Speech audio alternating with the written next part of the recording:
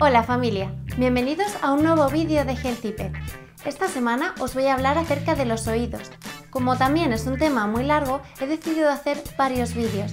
El primer vídeo que vais a ver hoy trata acerca de los problemas más habituales de oídos y cómo prevenirlos.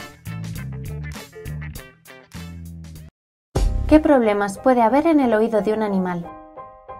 Sordera, infecciones, bacterianas, fúngicas o víricas, alergias, cuerpos extraños, tapones, ácaros y tumores o pólipos. Lo más común es que haya una combinación de más de uno de estos problemas. Los animales con alergias ambientales o al alimento sufren muchas infecciones secundarias. ¿Cómo saber si un animal tiene un problema en los oídos? Cuando un animal tiene molestias en el oído, suele sacudir más la cabeza y rascarse la oreja. En casos graves es posible que el animal pierda el equilibrio, gire la cabeza y llegue hasta caminar en círculos. A estos síntomas se los llama síndrome vestibular. Cuando vemos un síndrome vestibular puede querer decir que la infección afecta al oído interno. Es común detectar las infecciones del oído porque se percibe mal olor. En ocasiones, si tenemos más de una mascota, podemos notar que sus compañeros le lamen más la zona de la oreja. ¿Qué animales son los más predispuestos a tener problemas en los oídos? Los perros son los que más cuerpos extraños padecen. Es muy frecuente que les entren espigas en el oído. En los gatos, especialmente aquellos recogidos de la calle, es frecuente encontrar problemas causados por ácaros.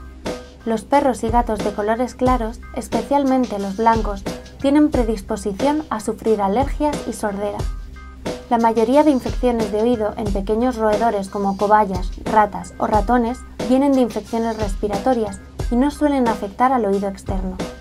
Todos los animales con las orejas caídas tienen más riesgo de sufrir infecciones porque su canal auditivo está muy poco ventilado. Los animales con mucho pelo en el conducto auditivo también tienen más riesgo de sufrir infecciones y cuerpos extraños. ¿Qué consecuencias puede tener una otitis? Las consecuencias más leves pueden ser molestias y dolor o picor. Se puede producir un otohematoma por las sacudidas y el rascado, se trata de una acumulación de sangre en la oreja que suele ser necesario operar para que se resuelva. Puede producirse una pérdida de audición temporal o definitiva. Una otitis complicada puede afectar el equilibrio de manera temporal o definitiva.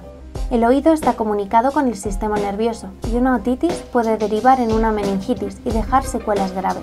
Cualquier infección, aunque esté localizada, puede diseminarse por el resto del cuerpo. ¿Cómo se pueden prevenir las infecciones en los oídos? Evitad los campos con gramíneas secas para los paseos de vuestros perros. Desparasitad a vuestro gato si sale con frecuencia a la calle. Si vuestra mascota tiene tendencia a producir mucha cera, limpiad su oído una vez a la semana o cada 15 días. Aseguraos de que vuestro veterinario comprueba cómo están los oídos de vuestra mascota en cada revisión. No uséis bastoncillos de oídos. Pronto os explicaremos cómo limpiar los oídos de vuestra mascota. Si vuestro gato o perro tiene mucho pelo dentro del canal auditivo, intentad retirar la mayoría con tirones suaves para evitar que se formen tapones o pedirle a un profesional que lo haga por vosotros. Acudid al veterinario ante cualquier síntoma.